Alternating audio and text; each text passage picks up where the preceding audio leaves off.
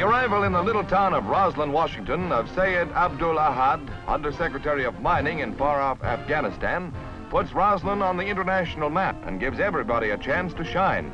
The local miners give their distinguished visitor a warm welcome and invite him to come on down and see how we do it here in America.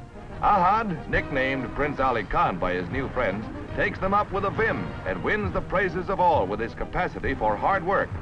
With what he learns of American methods, he hopes to go home to Afghanistan and double coal production there in one year.